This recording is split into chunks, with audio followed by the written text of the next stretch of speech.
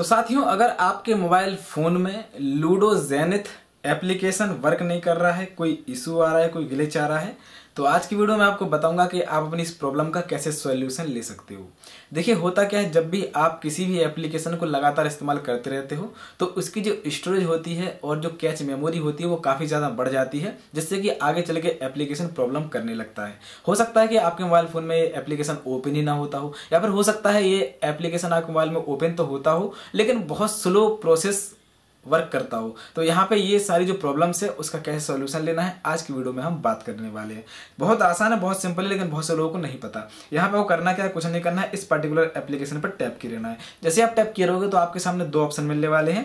पहला आएगा आपको ऐप इन्फॉर्मेशन दूसरा आएगा डिलीट डिलीट मतलब ये अनइंस्टॉल अनइंस्टॉल आपको नहीं करना है, यहाँ पे आपको ऐप इन्फॉर्मेशन पे क्लिक कर देना है। ऐप इन्फॉर्मेशन पे जैसे आप जाओगे तो यहाँ आपके सामने ऑप्शन आएगा स्टोरेज यूसेज सिंपल तरीके से आपको क्लिक कर देना है। जैसे ही आप यहाँ पे क्लिक कर दोगे तो यहाँ आपके सामने ऑप्शन आएगा क्लियर कैच क्लियर डेटा आपको यहाँ पे दोनों क्लियर कर देना है। कोई इशू नहीं है, कर दीजिए। आपको दोबारा से लॉग हो जाना आप। आगे चल के कोई प्रॉब्लम नहीं है।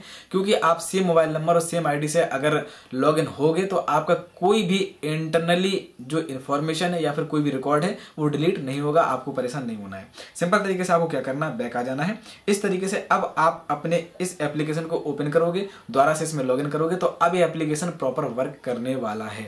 तो मैं आशा करता हूँ कि आज की वीडियो आपको पसंद आई होगी वीडियो अच्छी लगी हो तो चैनल सब्सक्राइब कर लीजिए और वीडियो को लाइक कर लीजिए, क्योंकि ऐसे ही हेल्पफुल कॉन्टेंट में आप सभी शेयर करता रहता हूँ। मिलते हैं अगली वीडियो के साथ तब तक के लिए ख्याल रखिए अपना। स्वस्थ रहिए, मस्त रहिए। Thank you so much